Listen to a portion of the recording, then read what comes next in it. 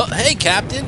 Are those new goggles? Oh man, you're looking mighty handsome today. Thanks, Steve. I feel handsome today. Oh my, I'm getting a major hard on. That must mean the enemy's near. There's no time to waste. Let's get the tank loaded up. Oh yeah, uh, about the tank. You didn't like see it from overhead, did you? Like parked somewhere? Hey guys, I just heard. I'm gonna be in Nope. You had her quite well hidden. What's her location now? Aw, Cabbage Patch Kids. Meanwhile, Why, stick me an address and call me Sally. What do we got here? It's such a magnificent machine. I feel like it's calling my name. Come here, Tim. Come here. T- touch my barrel. Oh god, it's an enemy trap, and it's working. We are so fucked. Ah, we are so fucked.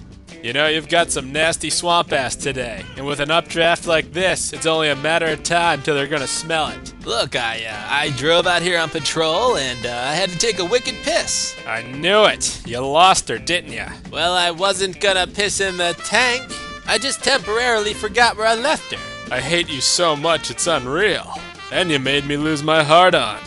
You're gonna pay for that. Look, it's stressful out here, man. My family's dead, and somebody could shoot me in the dick. And I just want to piss without getting shot in the dick. I heard when you're captured, they let you live, but shoot your dick off. You know, for kicks. What?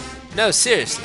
They're all about the cock and ball torture. That, that's what I heard. And I heard you like tickling soldiers' bags when they sleep. I didn't wake you up, did I? Well, not all is glum. I found a DVD of Titanic in the rubble today. It's uh, only part one, though.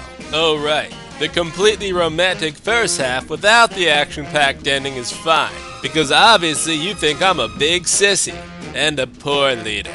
You know, sometimes you just make me want to cry. Hey, no, listen, I found this today.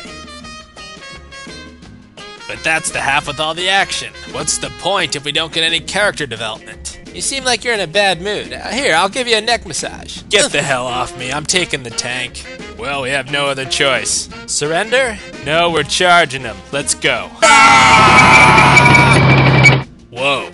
Is that what I think it is? It could be. Three hour truce? Can we have our tank back first? You strike a hard bargain. Okay, deal. Let's do this.